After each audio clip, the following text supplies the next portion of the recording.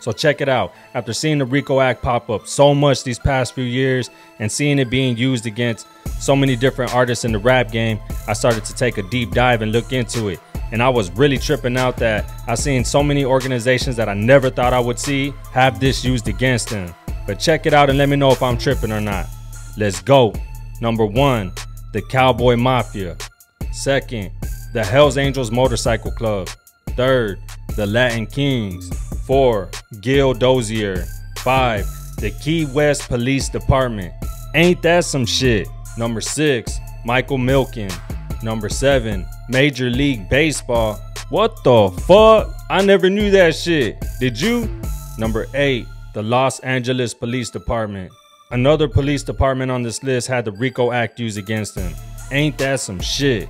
Number 9, Mohawk Industries. Number 10, the Gambino crime family. 11, the Lucchese crime family.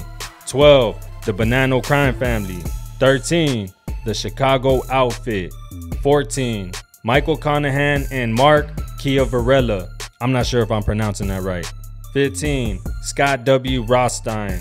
16, Access Health Source. When I read that, I was like, what the fuck? 17. FIFA? What the fuck? Isn't that like the soccer league shit? Number 18. Drummond Company. 19. Connecticut Senator Len Fasano. 20. Lecter V. Aprio. And last but not least, YSL Records. So out of this whole list, I'm gonna just read the ones that I thought were crazy to me that I never expected to see on this list. So the first one, the Key West Police Department. When I seen that, I really didn't expect to see that the police department was once hit with the RICO Act. So it says, around June 1984, the Key West Police Department located in Monroe County, Florida, was declared a criminal enterprise under the federal RICO statutes after a lengthy United States Department of Justice investigation. Several high-ranking officers of the police department, including Deputy Police Chief Raymond Casamayor, were arrested on federal charges of running a protection racket for illegal cocaine smugglers.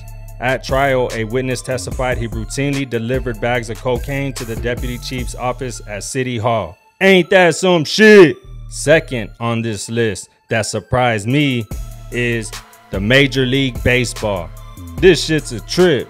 In 2001, Major League Baseball team owners voted to eliminate two teams, presumably the Minnesota Twins and the Montreal Expos. In 2002, the former minority owners of the Expos filed charges under the RICO Act against MLB Commissioner Bud Selig and former Expos owner Jeffrey Loria, claiming that Selig and Loria deliberately conspired to devalue the team for personal benefit in preparation for a move.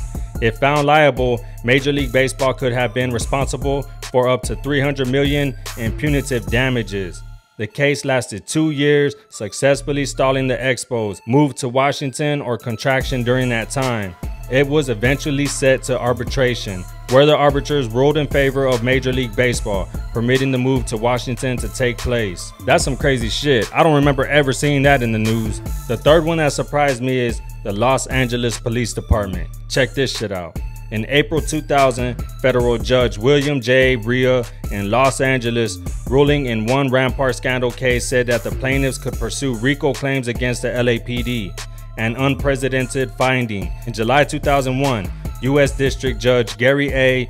Feess said that the plaintiffs did not have standing to sue the LAPD under RICO because they were alleging personal injuries rather than economic or property damages. Now, the last one, the main one that really caught me off guard when I was reading this, I could not believe that the RICO Act was once used against this organization, a very popular organization. When I read this shit, it really caught me off guard and I was like, what the fuck? I can't believe this shit. But here it goes, drum roll. FIFA. When I seen that shit, I was really like, what the fuck? I could not believe that shit. That was something I never expected to see, but let's check it out.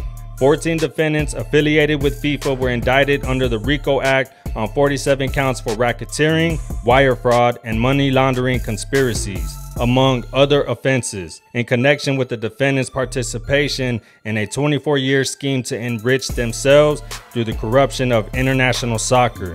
The defendants include many current and former high ranking officers of FIFA and its affiliate, CONCACAF. I'm not sure if I'm saying that right. The defendants had allegedly used the enterprise as a front to collect millions of dollars in bribes, which may have influenced Russia and Qatar's winning bids to host the FIFA World Cup in 2018 and 22, respectively. What the fuck? That shit just happened? Damn, that's some crazy shit. I did not see that on the news. I did not know shit about that. So those were the main ones right there when I was going through this whole RICO Act and trying to learn about it, you know, because I remember when he seen it being used against the Italian mafia. So when I started seeing it pop up and being used against artists in the rap game, I was really tripping because I was like, damn, I didn't know that they would go that far with it. And it's crazy how they started using it against certain artists, mainly YSL right now. It really is a trip to stumble across shit like this, but I thought I would share it with y'all. Let's get money. Peace.